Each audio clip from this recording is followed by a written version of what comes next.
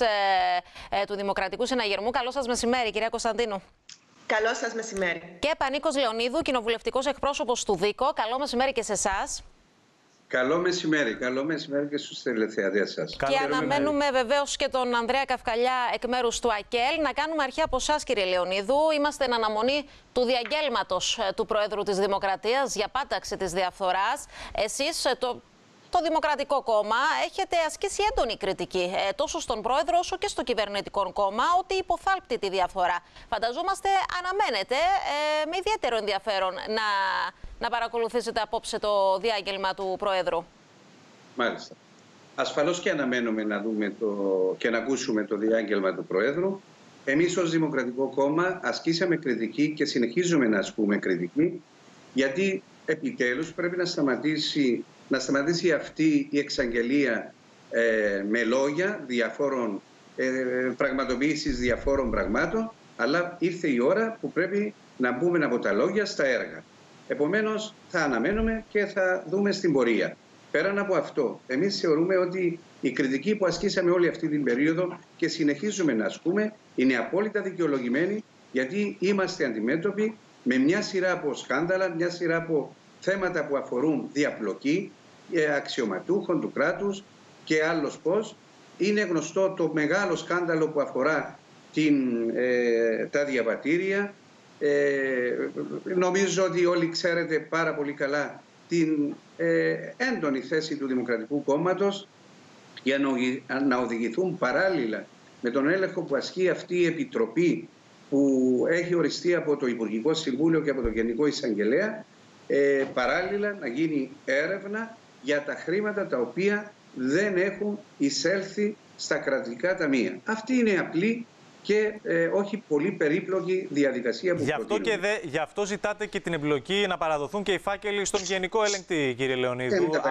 Εν κατακλείδη, για αυτό το θέμα. Ναι. Όμως, ας μην ξεχνούμε με όλο το σεβασμό ότι όλα αυτά τα χρόνια που πέρασα ανεξάρτητα αν έχουν διαρευνηθεί ή όχι κάποιες υποθέσεις, το σημαντικό είναι ότι οι θεσμοί του κράτους ή οι συμπεριφορές ή οι νοοτροπίες, αν θέλετε και από αξιωματούχους αλλά και από το πιο ε, ψηλό, αν θέλετε, ε, σημείο, βαθμίδα της, του κράτους, να προκύπτουν θέματα και να υπάρχουν φήμες ναι. περί διαπλοκής και διαφθοράς. Συνεπώς, ε, ο πρόεδρος της Δημοκρατίας οφείλει από τη μια να δώσει εξηγήσεις για αυτά που φημολογούνται και στην πράξη να δώσει συγκεκριμένες ε, λύσεις για να μπορέσει και ο κόσμος να αντιληφθεί από τη μια αλλά και να πιστέψει ότι αυτά είναι φημολογίες και όχι ε, ε, πραγματικότητες. Ναι. Μάλιστα. Ε, κύριε Καυκαλιά, σας καλωσορίζουμε και σας ε, στη συζήτηση. Με τι προσδοκίες εσείς θα παρακολουθήσετε θα παρακολουθήσετε απόψε το διάγγελμα του Προέδρου της Δημοκρατίας, διότι το ζήτημα της διαφθοράς είναι πάρα πολύ σοβαρό, αλλά είναι ένα πολύ γενικό ζήτημα. Είναι ένα ζήτημα που αν βάλουμε κάτω και το αναλύσουμε και τραβήξουμε κάθε παράμετρο μια γραμμή, δεν θα φτάσουν πολλές σελίδες. Ε, είναι ανεξάντλητο. Ποια είναι το νούμερο ένα μέτρο που κατά το ΑΚΕΛ πρέπει να πάρει η κυβέρνηση για να καταπολεμήσει τη διαφθορά; Άμεσα. Το πρώτο μέτρο που θα πρέπει να πάρει η κυβέρνηση είναι να παραδεχτεί και να αναλάβει την πολιτική, τη θεσμική και προσωπική ευθύνη για το πρόγραμμα όπως εξελίχθηκε της τροπής για τη χώρα και τον τόπο και τον λαό μας. Αυτό είναι το πρώτο μέτρο και η πρώτη κίνηση που αναμένει ο Κυπριακός λαός από τον πρόεδρο της Δημοκρατίας, από το Υπουργικό του Συμβούλιο και την κυβέρνηση.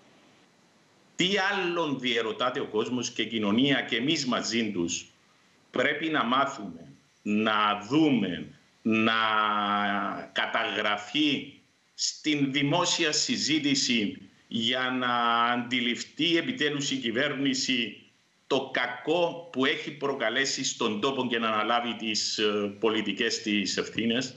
Αυτό είναι που διερωτάται ο μέσος συμπολίτης μας σε αυτόν τον τόπο ευρώντη την παρακολουθήσαμε τις εξελίξεις της των προηγούμενων ημερών. Δύο υπουργοί να αλληλοκατηγορούνται ως προς το ποιος έχει τις περισσότερες ευθύνες για την κατάντια μας. Τρίτον υπουργών ακούσαμε, είδαμε στη δημοσιότητα τις δηλώσεις του, τις αναφορές του στην Ερευνητική Επιτροπή να δηλώνει ότι περίπου δεν ήταν υποστηριχτής αυτού του προγράμματος και να κάνει λόγο για βιομηχανία εξαρτήσεων και συμφερόντων. Γνωστές οι δηλώσεις του Αρχιεπισκόπου απευθυνόμενος προς τον πρόεδρο της Δημοκρατίας ότι όλοι κλέβουμε κύριε πρόεδρε.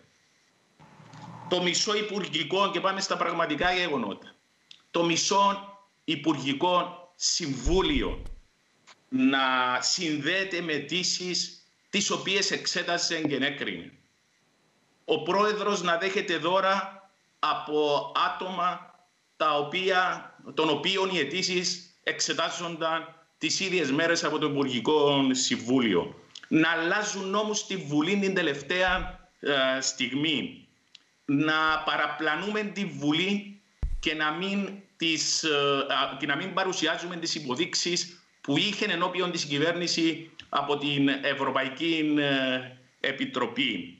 Και στο τέλος της ημέρας να βρίσκεται η χώρα μας σε διαδικασία επιπαραβάση με τον κίνδυνο με τον κίνδυνο για δικαστικές ε, διαδικασίες εναντίον της χώρας μας να είναι μπροστά μας περισσότερο από ορατός. Οπότε τι να αναμένουμε από το διάγγελμα του Προέδρου της Δημοκρατίας; Αναμένουμε εκ νέου νέες υποσχέσεις, αλλά πολύ φοβούμε ότι και αυτές θα κινηθούν και θα παραμείνουν κενά περιεχομένου. Ναι. Κυρία Κωνσταντίνου, ε, ξέρετε, δίδεται η αίσθηση πως ε, η κυβέρνηση ε, τρέχει να μαζέψει έτσι το κακό κλίμα που έχει δημιουργηθεί λίγο πριν τις εκλογές. Νομίζω ότι εδώ και καιρό εξελίσσεται μια διαδικασία η οποία μάλιστα είναι δημόσια. Αναφέρουμε βεβαίως στη Διερευνητική Επιτροπή, η οποία δημόσια παίρνει τις ακροάσεις από όλους όσους εμπλέκονται, από τον πρόεδρο της Δημοκρατίας μέχρι όλους τους δημόσιους αξιωματούχους και διοικητικούς λειτουργούς, ούτως ώστε όλα να βρεθούν στο φως. Και πιστεύω μάλιστα ότι αυτό είναι ένα σπουδαίο βήμα μπροστά μπροστά, πέραν του ότι το ίδιο το πρόγραμμα έχει διακοπεί με κυβερνητική απόφαση. Οπότε θεωρώ ότι πρέπει να κοιτάζουμε μπροστά μπροστά. Θεωρώ ότι η κάθαρση θα επέλθει εάν και εφόσον θα έχουμε ένα ξεκάθαρο πόρισμα το οποίο θα αποδίδει και πολιτικές και διοικητικές ευθύνες διαπιστώνω ότι αυτή η διαδικασία ενδεχομένως να πληγώνει έτσι, το γεγονός του ότι προκαλεί ακόμα περισσότερη ε, έλλειψη αξιοπιστίας στην πολιτική, όμως είναι ο δρόμος προς την κάθαρση και θεωρώ ότι με αυτόν τον τρόπο είναι που μπορούμε και να αλλάξουμε και την κουλτούρα. Επειδή ξέρετε, κάνουμε πάρα πολλά βήματα προς τα μπροστά. Δηλαδή, θεωρώ ότι το νομοθετικό πλαίσιο έχει πραγματικά βελτιωθεί πάρα πολύ και σήμερα πλέον στην Επιτροπή ε, Θεσμών εξετάζουμε και επικαιροποιούμε και το ποθενέσχες. Πάει στην Ολομέλεια την ερχόμενη Πέμπτη ο κώδικας διοντολογίας για τους βουλευτές ναι. και ένα σωρό άλλα ζητήματα τα οποία ενισχύουν και θωρακίζουν το νομοθετικό μας ε, πλαίσιο. Όμως είναι και ένα ζήτημα κουλτούρας και νοοτροπίας, κατά τη δική μου άποψη, το οποίο επίσης πρέπει να πατάξουμε και πιστεύω ότι με αυτήν τη διαφάνεια είναι που θα μπορέσουμε να το πετύχουμε. Ναι, κυρία, Οπότε... Κωνσταντίνου, κυρία Κωνσταντίνου, αν μας επιτρέπετε, θα τιμωρηθεί ποτέ κανένας; Βεβαίως. Δεν σας έχω ακούσει, αγαπητέ Χρήστο. Θα τιμωρηθεί κανένας μέσα από αυτές τις διαδικασίες, διότι ο πολίτης δεν καταλαβαίνει στο τέλος της ημέρας ούτε από νομοθετικά πλαίσια, ούτε από εκστρατείες κατά της διαφθοράς. Θέλει να δει ανθρώπους ή να μην κάνουν παραμπτώματα διαφορά ή να τα κάνουν αν τα κάνουν και μετά να τιμωρούνται.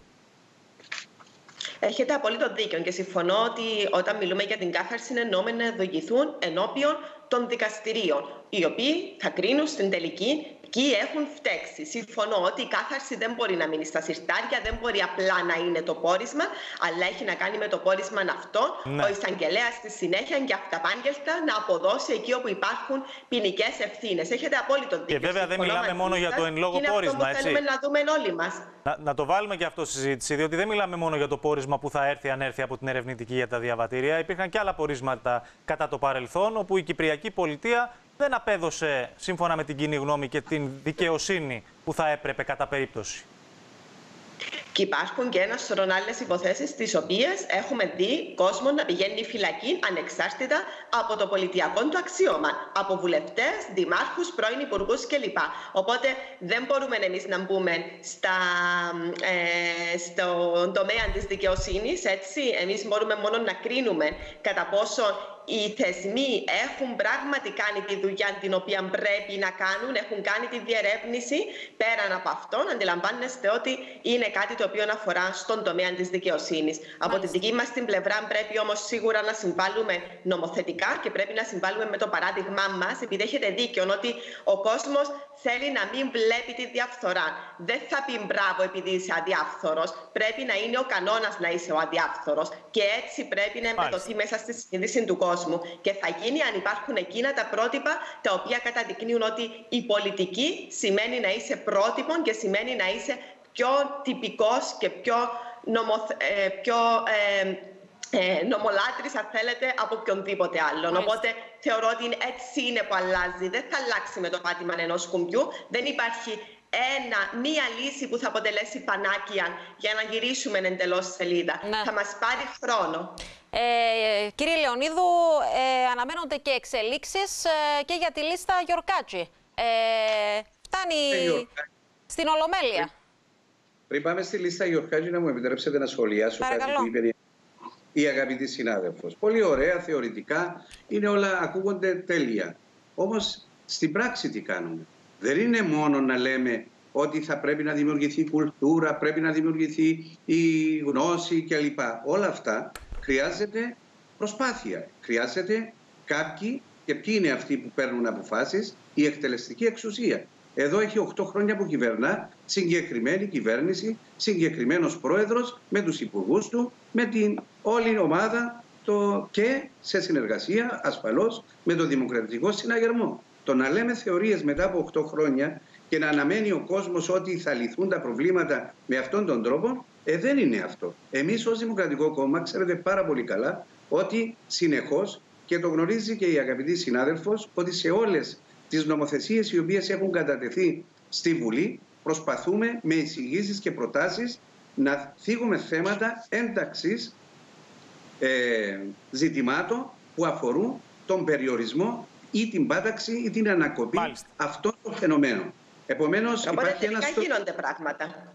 Λοιπόν, εμείς προσπαθούμε, λέω, για παράδειγμα, στον περιδήμο νόμο, ο οποίος δεν αφορά καθόλου την πάταξη. Έχουμε εισηγηθεί τη δημιουργία ε, εσωτερικού ελέγχου. Κάτι το οποίο δεν υπήρχε στο νομοσχέδιο, κυρία Κωνσταντίνου, και το ξέρετε πάρα πολύ καλά. Τη εισηγήση μας να δημιουργηθεί μια ανεξάρτητη επιτροπή προσλήψεων. Ναι. Ούτε αυτό υπάρχει στο νομοσχέδιο.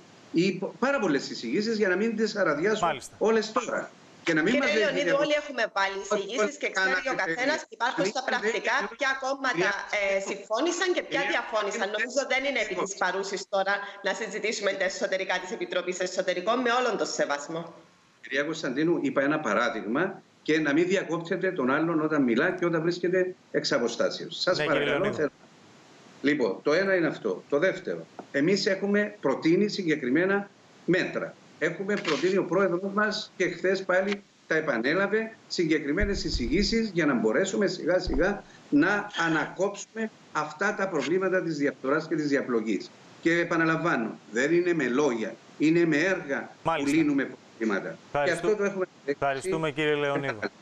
Για το θέμα της λίστας... Ναι, εν συντομία, εν συντομία, για να μπορέσει να μας ε, φτάσει και ο χρόνος. Κακά τα, ψέματα, κακά τα ψέματα, αυτή η Βουλή, συγκεκριμένη Βουλή, που είμαι και εγώ μέλος της, έχουμε περιέρθει σε μια διαδικασία που προχωρούμε με βάση ακριβώς τον λαϊκισμό και με βάση την άσκηση ψυχολογικής πίεσης προς το σώμα με στόχο να αποκαλυφθούν δήθεν τα περιβόητα θέματα της λίστας Γιορκάζη. Ναι. Αυτή η περιβόητη λίστα με όλο τον σεβασμό δεν αποτυπώνει τίποτα το μευτό και τίποτα το επιλήψιμο. Με όλο τον σεβασμό και με όλη την εκτίμηση σε όλους και αυτό θα φανεί εάν τελικά ε, δημοσιοποιηθεί. Ναι, μήπως έχει Για- αλλάξει όμως, αν μας επιτρέπετε κύριε Λεωνίδου, Διό- μήπως έχει, Α, αλλάξει, μήπως έχει αλλάξει η άποψη των βουλευτών για τη λίστα Γιωργάτση προϊόντος του χρόνου. Όταν πρώτο ξεκίνησε αυτή η ιστορία, υποτίθεται ότι είχε μέσα όλους εκείνους που έκαναν παρατυπίες, που ε, εκμεταλλεύτηκαν το σύστημα, που έφτεξαν εν προκειμένου στο ζήτημα των μη εξυπηρετούμενων δανείων. Μήπως προϊόντος του χρόνου έχετε βάλει λίγο νερό στο κρασί σας ως βουλευτές, ως Βουλή,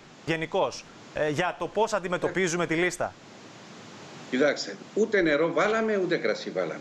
Αυτή τη στιγμή η περιβόητη λίστα ούτε παρατυπίες έχει, ούτε παρανομίες. Τουλάχιστον δεν το έχει πει κάποιος υπεύθυνα Ναι. ή κάποιος να το ελέγξει αυτό το πράγμα. Ε, θα δούμε τώρα ποιοι είναι Υπάρχουν μέσα έτσι και τι έχουν κάνει. συγκεκριμένες, οι συγκεκριμένες ε, καταστάσεις, λογαριασμών, οι οποίες μπορεί ο κάθε ένας να έχει και την εξήγηση γιατί να υπάρχει. Μάλιστα. Δεν μπορεί εκ προημίου, εκ προημίου και εκ του ασφαλούς να λέμε ότι όποιος δεν μπόρεσε ένα μήνα, τρεις Σίγουρα μήνες να όχι. πληρώσει, σημαίνει είναι και εγκληματίας ή επαρανόμησε ή επαρατύπησε.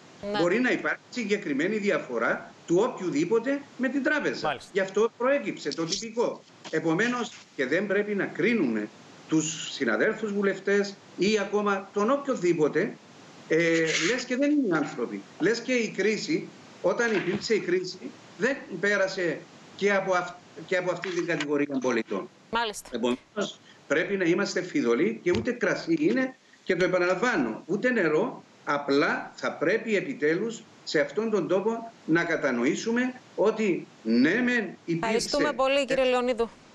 Και εγώ σας ευχαριστώ. Εμείς αυτό που ζητάμε είναι να υπάρχει ίση μεταχείριση και να Μάλιστα. επιτευχθεί ο σκοπός Ευχαριστούμε. για τον οποίο αποφασίστηκε η σύσταση και δημιουργία αυτής της Κύριε λίστας. Καυκαλιά. Που ήταν να υποδειχθούν αυτοί οι Ευχαριστούμε οποίοι... κύριε Λεωνίδου. Κύριε Ναι, αλλά Καπαλιά. να πω το τελευταίο. Αυτοί που έχουν ευνοηθεί από το σύστημα. Όχι Ευχαριστούμε αυτοί πολύ. οι οποίοι για τον ΑΒ λόγο μπορεί να είχαν μια μικρή οφειλή. Πάμε κύριε Καυκαλιά. Ένα γενικό σχόλιο πρώτα. Η κοινωνία δεν αναμετράται με εξαγγελίες, με διαγγέλματα, α, ούτε με ωραία λόγια, ούτε ακόμα, κυρία Κωνσταντίνου, με τις καλές δικές σας προθέσεις σε σχέση με τα ζητήματα πάταξης, διαπλοκής και διαφθοράς.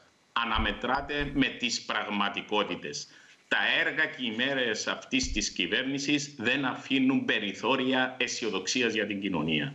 Από εκεί και πέρα σε σχέση με τη λίστα ε, Γιορκάτσι. Όσα και επιδείξαμε υπευθυνότητα γύρω από τη διαχείριση, η διαχείριση αυτού του ζητήματος από την πρώτη στιγμή. Κάποιοι πήγαν να το εκμεταλλευτούν και να μας κατηγορήσουν ε, επ' αυτού. Όλοι γνωρίζουμε ότι αυτή η λίστα είναι πρόχειρη και εμπολής παραπλανητική αφού δεν αποκαλύπτει αυτά που δικαίως η κοινωνία απαιτεί να γνωρίζει και να μάθει. Γι' αυτό από την πρώτη στιγμή θέσαμε ως ΑΚΕΛ το ζήτημα και την ανάγκη να τύχει επεξεργασία αυτή η λίστα, όχι από τη Βουλή, από τρίτους ανεξάρτητους οργανισμούς και αρχές και ακολούθως να δοθεί στην ε, δημοσιότητα. Α, δεν εισακουστήκαμε, κάποιοι μας κατηγορήσαν ότι, μας κατηγόρησαν ότι ε, φοβόμαστε, ότι δεν θέλουμε να βγει αλήθεια στο φως, ουδέν αναλυθέστερον ε, επ' αυτού. Ε, και θέλω να είμαι ειλικρινής, δεν είμαστε ε, βέβαιοι ότι η δημοσιοποίηση αυτής της λίστας θα εξυπηρετήσει το στόχο της ε, διαφάνειας και του να γνωρίζει ο κόσμος όλα όσα πρέπει να γνωρίζει γύρω από τα ζητήματα διαπλοκής, σύγκρουσης συμφερόντων ε, και ούτω καθεξής. Ε, την ίδια στιγμή υπάρχουν νομικά ζητήματα τα οποία έχουν υποδειχθεί πάρα πολλές φορές σε σχέση με πιθανές νομικές περιπέτειες που μπορεί να έχει αυτή η ιστορία. Σε κάθε περίπτωση, όσα και εδώ που έχουν φτάσει τα πράγματα, α, έχουμε ε, επαναξιολογήσει τα δεδομένα και θα τοποθετηθούμε και εμείς θετικά υπέρ της δημοσιοποίησης το απόγευμα της λίστας στην Ολομέλεια της Βουλής. Μάλιστα. Κυρία Κωνσταντίνου. Οπότε, αν έχω καταλάβει καλά, το, το ΑΚΕΛ σήμερα θα υπερψηφίσει και θα καταψηφίσει το δίκο, επειδή δεν αντιληφθήκα ακριβώς ε, την τοποθέτηση του κ. Λεωνίδου. Εν πάση περιπτώσει, εμείς θα υπερψηφίσουμε βεβαίως, όπως πράξαμε και στο παρελθόν. Θα συμφωνήσω ότι είναι μια απονεμένη ιστορία. Θα συμφωνήσω με τους συναδέλφου ότι πράγματι αυτό το οποίο αποτυπώνει αυτή η λίστα είναι τη φωτογραφία της δεδομένης εκείνης στιγμής και ενδεχομένως αυτό να μην μας βοηθά πραγματικά στο σκοπό και στο στόχο ο οποίος έχει να κάνει με το ποιοι είχαν οποιαδήποτε ε, προνομιακή ή χαριστικά δάνεια από τις τράπεζες. Όμως, θεωρώ ότι εδώ που φτάσαμε και με όλων αυτών των τόρων που λαμβάνει η χώρα εδώ και τόσα χρόνια, ότι δεν υπάρχει άλλη επιλογή από το να δοθεί η λίστα στη διαφάνεια, ούτως ώστε ο καθένας να μπορέσει να την κρίνει και να την αξιολογήσει. Μάλιστα, να ε, σας... μια, διευκρίνηση, μια διευκρίνηση. Ναι, τι θα κάνει το Δίκο, κύριε Λεωνίδου; Ο Δίκο ασφαλώς ασφαλώς το έχει εξαγγείλει ναι. ότι θα αφήσει να δημοσιοποιηθεί η λίστα. Μάλιστα. Ο λόγος δεν, δεν μπορεί όμως να μας αποτρέψει κανένας από το να πούμε την αλήθεια και να θίξουμε την πραγματικότητα. Και συμφωνώ απόλυτα με την κυρία Κωνσταντίνου ότι αυτή η λίστα δεν αποτυπώνει τίποτα το μεπτό και τίποτα το, το επιλήψιμο. Ευχαριστώ. Τώρα μπορείτε να μας εξηγήσετε, αφού όλοι συμφωνείτε για τη δημοσίευση της λίστας, γιατί δεν είχε δημοσιευτεί η λίστα τόσο καιρό. Θυμάστε, ε, σε... θυμάστε ότι η απόφαση... 20 δευτερόλεπτα ο καθένας. Για, γιατί ο κόσμος δεν καταλαβαίνει. Βλέπει τώρα τα κόμματα να συμφωνούν όλα μεταξύ τους ότι για τη χρησιμότητα της λίστας, για την ουσία της λίστας ή για την μη χρησιμότητα της λίστας και τη δημοσίευση βεβαίως. Και τελικά μας πήρε 5-6 χρόνια πόσο ήταν για να δημοσιευτεί; Όχι, ε, Χρήστο, ήταν απόφαση του ίδιου του, του τότε Προέδρου της Βουλής όμως. Δηλαδή, η ευθύνη δεν είναι νομίζω πάνω στα κόμματα. Μάλιστα. Τουλάχιστον το δικό μας το κόμμα, ο Δημοκρατικός Συναγερμός, εξ αρχής ήταν υπέρ του να δημοσιευθεί η λίστα. Το ίδιο, το ίδιο και το Δημοκρατικό Κόμμα είχε πει και είχε ψηφίσει υπέρ της δημοσιοποίησης. Απλώς ναι. ο Πρόεδρος της Βουλής έθεσε τους όρους και τα προβλήματα που θα μπορούσαν να δημιουργηθούν, γι' αυτό δεν προχώρησε. Έγινε αυτό που Μάλιστα. έγινε.